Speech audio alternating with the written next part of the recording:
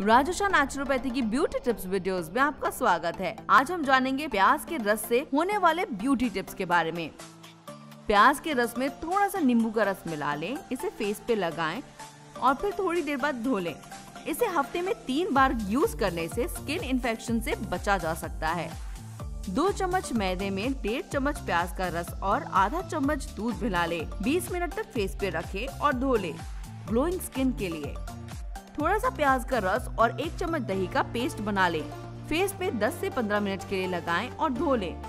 Dark spots हटाने के लिए ये बहुत अच्छी टिप है ना ये कमाल की फ़ायदेमंद वीडियो तो इन जानकारियों को सिर्फ़ अपने तक ना रखें, अपने फ्रेंड्स और फैमिली मेंबर्स से भी शेयर करें ऐसी और कई वीडियोस को देखने के लिए हमारे चैनल को सब्सक्राइब करें और बेल आइकन को प्रेस करना ना भूलें आपके मन में अगर कोई भी सवाल हो तो हमें कमेंट बॉक्स में अपना रिमार्क छोड़ के ज़रूर बताएँ।